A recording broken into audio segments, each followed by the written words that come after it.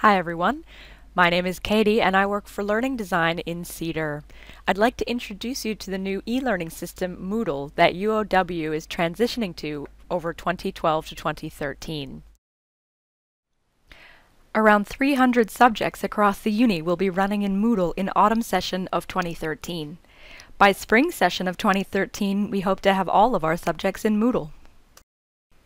Moodle is replacing our current e-learning space. That's this one here.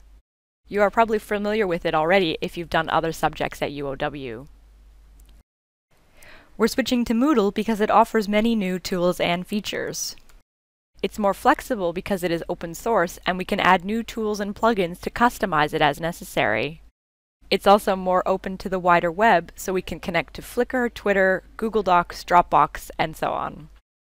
It's also in use by half of Australian universities, TAFE New South Wales, and many high schools in the Illawarra, so you may have already used it.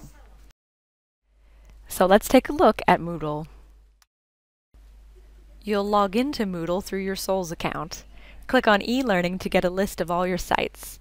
Your Moodle sites will be listed together at the bottom. Here's an example of what your Moodle site might look like. It has three columns with the subject material in the center, usually organized by week or topic. In the left-hand column, you can access your navigation to move from site to site or your profile page.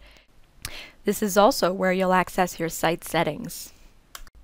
The right-hand column contains blocks which are set by your subject coordinator. These blocks will likely contain updates about the site or news.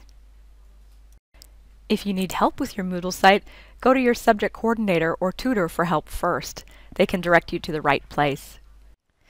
Our YouTube channel is another great place to look for help as we are constantly adding new videos. You can access it at the address on the screen.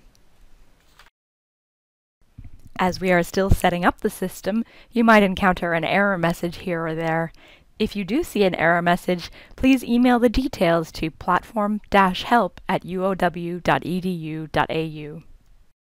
I hope you have a great experience using Moodle this session, and thank you for watching.